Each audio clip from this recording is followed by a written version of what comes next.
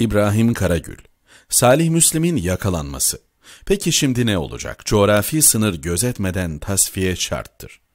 PKK'nın Suriye kanadı PYD yöneticilerinden, Türkiye'ye yönelik terörün en önemli isimlerinden, Türkiye içindeki terör saldırılarından ve Suriye'nin kuzeyindeki kitlesel katliam ve tehcirlerden sorumlu Salih Müslim, Prag'da yakalandı.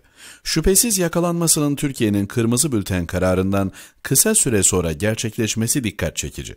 Hele ki Afrin operasyonu bütün kararlılığıyla devam ederken, İran sınırından Akdeniz'e kadar PKK-PYD üzerinden bir terör koridoru oluşturup ülkemizi çevrelemeye dönük Amerikan planlarına karşı Türkiye'nin büyük mücadelesi daha da genişlerken PKK-PYD'nin üst düzey bir isminin Avrupa sınırlarında gözaltına alınmasının anlamı büyüktür.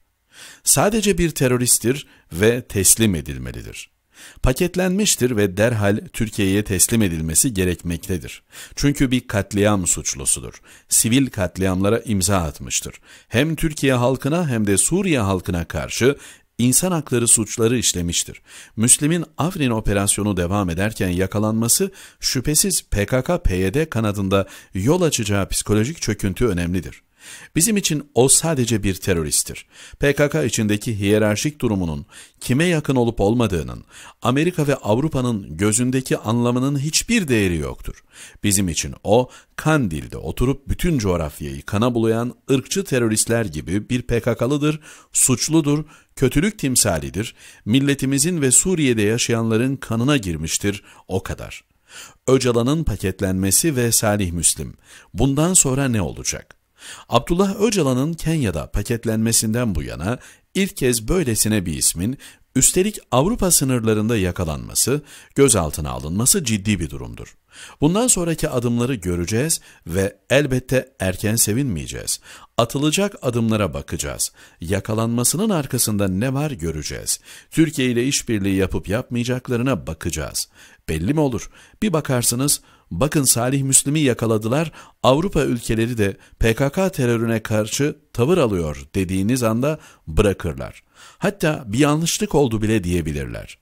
Ama öyle olmazsa teslim ederlerse, Salih Müslim'in yakalanmasının devamı gelirse, yeni isimler listeye girerse, AB ülkeleri içindeki terör yapılarına karşı kararlı ve dürüstçe tavır alınırsa, coğrafyamızı kana bulayan bu terör örgütüne karşı Avrupa genelinde operasyonlar başlarsa, olağanüstü bir dönem başlamış demektir. Biz bu konuda Avrupa'ya hiç güvenmeyiz. Bu net. Gerçi biz Avrupa ülkeleriyle terörle mücadele yapılamayacağını biliriz. Bu konuda güvenimiz neredeyse kalmamıştır. Onlarla hiçbir şekilde teröre karşı ortak hareket edilemeyeceğini, Türkiye'nin bu konuda acılarının en önemli müsebbiplerinin aslında onlar olduğunu çok iyi biliyoruz. Bunu defalarca yaşadık. Çünkü terörü her zaman bize bir kart olarak kullandılar. Türkiye'ye saldıran kim varsa onlara destek verdiler. 15 Temmuz'dan sonra FETÖ'yü korudular, üst düzey yöneticilerine sığınma hakkı verdiler. PKK'nın finans kaynağı oldular. Siyasi olarak onlara kalkan oldular. Madem Türkiye'yi vuruyor biz de destek verelim dediler. Ülke yönetimleri, medyası, entelijansiyası Türkiye düşmanlığına öyle kilitlendiler ki sivil katliamlardan sorumlu örgüt ve kişileri bile korumaya aldılar. Ülkemizle hesabı olan ne kadar örgüt ve kişi varsa bugün Avrupa'da rahatça hareket etmektedir. Aramızdaki ikili anlaşmalara, uluslararası sözleşmelere, ne kadar bu yönde düzenleme ve tasarruf varsa hepsine rağmen, verdiğimiz suç dosyalarına rağmen Türkiye ile işbirliği yapmadılar. Avrupa ve Amerika şunu bilsin, o kartı ellerinizden alacağız. Ama Avrupa şunu unutmasın. Terör konusunda Türkiye ile işbirliği yapmayan ülkeler önümüzdeki yıllarda ne büyük hata yaptıklarını anlayacaklar. Bugün Türkiye'nin sıkıntılarına yatırım yapan ülkeler birkaç yıl içinde bizden daha büyük sıkıntılara sürüklenecekler. Türkiye yükselecek, bunları aşacak. Avrupa destekli de olsa terör kartını boşa çıkaracak. Teker teker o örgütlerin de, o isimlerin de üstesinden gelecek. Bugün Türkiye'nin dostluğunu önemsemeyenler, iş bittikten sonra, bölgenin güç haritası değiştikten sonra o dostluğu çok arayacaklar ama bulamayacaklar. Amerika şunu bilmeli. PKK ile ortak olup Türkiye cephesi açma planları ona bütün bir coğrafyayı kaybettirecek. Birkaç terör örgütüyle, birkaç güçten düşmüş bölge ülkesiyle bu coğrafyada tutunamayacağını çok yakında anlayacak. Türkiye'nin dostluğunu kaybetmenin bedelini ödemek zorunda kalacak. Bütün lider kadrosu tasfiye edilmeli. Sonuç alınacaktır. Salih Müslim bir kötülük dosyasının küçük bir figürüdür. Önemli bir adam değildir. Ama sembolik olarak yakalanması çok önemlidir. Yargılanmadan, teslim edilmeden bu dosya tamamlanmayacak, bu da bir gerçek. Yine de Çek Cumhuriyeti'nin bunu yapması dikkatle not edilecek. Bu caniler listesinden bir ismin eksilmesidir. Türkiye, PKK-PYD'nin bütün lider kadrosunu tasfiye etmeden, etkisiz hale getirmeden bu mücadele bitmeyecek. Türkiye hem içeride hem Suriye'de hem de Irak'ta örgütün bütün unsurlarına karşı amansız bir mücadele yürütmektedir. Çünkü bu bir vatan savunmasıdır. Öyle görür böyle biliriz. Mücadelenin bir ayağı da Avrupa'dır. Afrin'le başlayan, Münbiç'le devam edecek olan, Fırat'ın doğusundaki her karış toprakta devam ettirilecek olan mücadele böyle bir mücadeledir. Amerika'da olsa, Avrupa ülkeleri de olsa bu mücadele yapılacaktır. Sonuç alınacaktır. Terör kartı ellerinde kalacak. Türkiye'nin dostluğu önemlidir. Çünkü artık terörle mücadele yapmıyoruz. Türkiye mücadelesi, coğrafya mücadelesi yapıyoruz. Çünkü artık Amerika ve Avrupa'nın gizli gündemli telkinleriyle ilgilenmiyoruz. Kendi ellerimizle mücadele ediyor, kendi doğrularımızla kararlar alıyoruz. Bu kararlılık geri döndürülemez bir tarihsel yürüyüş, yükseliştir.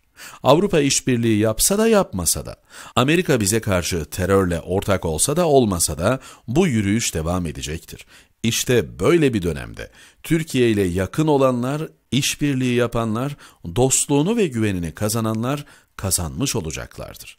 Almanya'dan ve diğer Avrupa ülkelerinden ön yargılarını bırakıp marjinallerin perspektiflerine rehin olmamalarını, PKK'ya karşı Türkiye ile işbirliği yapmalarını istiyoruz. Hiçbiriniz bir terör örgütüne destek vererek gurur duyacağınız bir tarih sayfası açmıyorsunuz. Bu kart terör kartı. Ne kadar etkin kullanırsanız kullanın elinizde kalacaktır. Biraz tarihe bakın, biraz coğrafyaya bakın bunu göreceksiniz.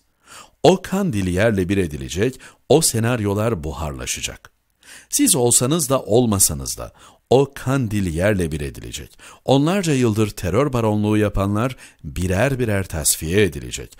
Ortadan kaldırılacak. Suriye'nin kuzeyindeki o siperler, o silah depoları bir bir havaya uçurulacak. PKK ve PYD üzerinden bütün senaryolar buharlaşacak. Bunlar olacak ve Türkiye bunu yapacak. Siz o zaman avuçlarınız bomboş bölge dışından seyretmek zorunda kalacaksınız.'' PKK unsurları, terör baronları, batıdan aldıkları desteğin bir gün hiçbir işe yaramadığını, yeni coğrafya tasarımında kendilerine yatırım yapılmayacağını, kullanılıp atılacaklarını, işte o zaman kendi kellelerini bile koruyamayacaklarını görecekler.